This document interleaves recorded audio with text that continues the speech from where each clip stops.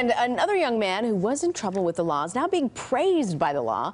Jamal Rutledge and three police officers are being honored by the Fort Lauderdale Police Department for saving the life of Officer Franklin Folks.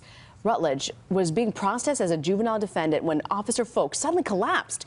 Rutledge yelled for help, and three officers quickly responded to Folks' apparent heart attack, ultimately helping to save his life.